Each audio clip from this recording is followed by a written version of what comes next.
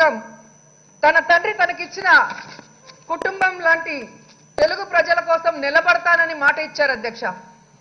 అలా ప్రజలకిచ్చిన మాట కోసం రాజకీయ రాబందుల్ని ఎదిరించారు. ఢిల్లీ పెద్దల్ని ఎదిరించారు. ఇక్కడ ఉన్న ఎల్లో గద్దల్ని ఎదిరించారు.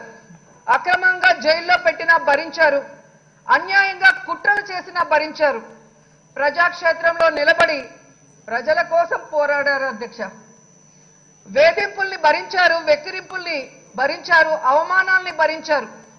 ఆఖరికి వైఎస్ఆర్ కుటుంబంలోని ఆడవాళ్ళని కూడా వదిలిపెట్టకుండా కన్నీళ్ళు పెట్టిస్తే ఇన్ని కష్టాలు కుట్రలు చేసినా కూడా వైఎస్ఆర్ ఆశయ సాధన కోసం ప్రజలకిచ్చిన మాట కోసం తడబడకుండా పది సంవత్సరాలు ప్రజల పక్షాన నిలబడి పోరాడిన ఏకైక పోరాట వీరుడు జగన్మోహన్ రెడ్డి గారని కూడా ఈ సందర్భంగా తెలియజేసుకుంటున్నాను అధ్యక్ష.